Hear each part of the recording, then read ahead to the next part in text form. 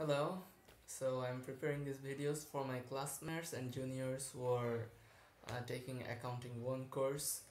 I'm also retaking this course, uh, but I think that I'll be able to help here.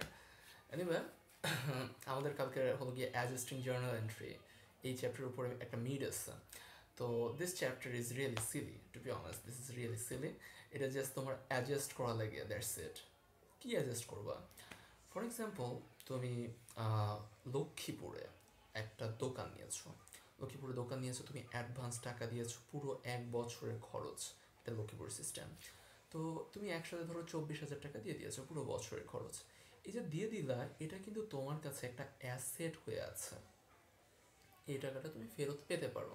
যদি তোমার কাছে কোনো emergency situation হয়, তোমার টাকাটা ফেরত পাবা। এখন কথা হলো গিয়ে, এই যে অ্যাসেট তুমি ধরে রাখছো যে চব্বিশ হাজার টাকা আছে। চিন্তা করো, আজকে এপ্রিল মাসের এক তারিখ। এখন তোমার একটা ইমার্জেন্সি সিচুয়েশন তুমি টাকাটা ফেরত লাগবে, তুমি বললা, ভাই, আমার চব্বিশ হাজার টাকা ফেরত দেন। চব্বিশ হাজার টাকাই ফেরত দিবে? অ্যান্সার ইজ অবভিয়াসলি নো এটা চব্বিশ হাজার টাকা না দিয়ে তোমাকে আঠাশ হাজার টাকা সরি আঠারো হাজার টাকা ফেরত দিবে। দ্য রিজন বিং এই যে চব্বিশ হাজারটা এটা অ্যাডজাস্ট করতে হয়। প্রত্যেক মাসে মাসে দুই হাজার টাকা করে করে তোমার কেটে নিতে হবে, তাই না? পার মান্থ একটা খরচ আছে। দ্যাটস অ্যাডজাস্টিং অথবা, ধরো তোমার কাছে সাপ্লাই আছে, তুমি একটা দোকান নিয়েছো, বিশাল করে একটা দোকান, মদের দোকান দাও হ্যাঁ? তো মদের একটা দোকান দিয়েছ, সেই দোকানে তুমি এক মাসে একশোটা বোতল কিনছিলা ফার্স্টে এখন মাসের শেষের দিন। তুমি দেখতেছো ফ্রিজ খুলে যে এখনও ষাটটা বোতল আছে। তার মানে খরচ হয়েছে চল্লিশটা বোতল। এখন তোমাকে যদি হঠাৎ কেউ জিজ্ঞেস করে যে হ্যাঁ আপনার কাছে কি পরিমাণ অ্যাসেট আছে, কি পরিমাণ সাপ্লাই আছে? তুমি যে ওই যে একবার কিনছো একশোটা, ওটার খবরই বলবা? অবভিয়াসলি না। তোমার চল্লিশ, চল্লিশটা বোতল এটা কেটে ফেলতে হবে সেখান থেকে। দ্যাট ইজ অ্যাডজাস্টিং অথবা ধরো আমার বাসার খবর একটা বলি। আমার বাসার, আমার বাবার কি একটা ইয়া কিনেছিল? কম্পিউটার কিনেছিল সেই টু থাউজেন্ডের দিকে around sixty thousand Pentium four পাঁচশো বারো মেগাবাইট টাইপের র্যাম এরকম একটা কম্পিউটার তো সেই কম্পিউটারটা আমি যদি বলি যে এখন আমার বাসায় আছে অ্যান্ড সেটার মূল্য সিক্সটি থাউজেন্ড টাকা, ওটা আমার অ্যাসেট এটা কি সত্যি হবে? ওই কম্পিউটারটা কি কেউ সিক্সটি থাউজেন্ডে কিনবে? সো এখানে একটু ডেপ্রিসিয়েশনের ব্যাপার আছে। আমার কম্পিউটারটা আমি আঠারো বছরে আস্তে আস্তে করে করে খরচ করেছি। সো এটা কেটে ফেলতে হয়। এটা হলো কি একটা অ্যাডজাস্টমেন্ট প্রত্যেক বছরে বছরে কেটে ফেলা, এটা একটা অ্যাডজাস্টমেন্ট অথবা ধরো আরও কি কি হতে পারে? ধরো তুমি আরও ভাইরাসের টিকিট কিনছো হ্যাঁ? আরও ভাইরাস হলো গিয়ে এই এলাকায় বিশটা দিনে সে অনুষ্ঠান করবে। এখন এই যে বিশটা দিন ধরে সে যে অনুষ্ঠান করতেছে, এই প্রত্যেকটা দিনে আটটা দিন ধরো চলে গেছে হ্যাঁ? একদম শুরুর দিকে যখন সে ছিল, সবটা টিকিট তো অ্যাডভান্স নিয়েছে, তাই না? এই প্রত্যেকটা টিকিটই ছিল তার জন্য আনআর্নড রেভিনিউ রেভিনিউ হলো গিয়ে সে টাকা পাচ্ছে, কিন্তু এই টাকার জন্য সে এখন সার্ভিস পারফর্ম করেনি।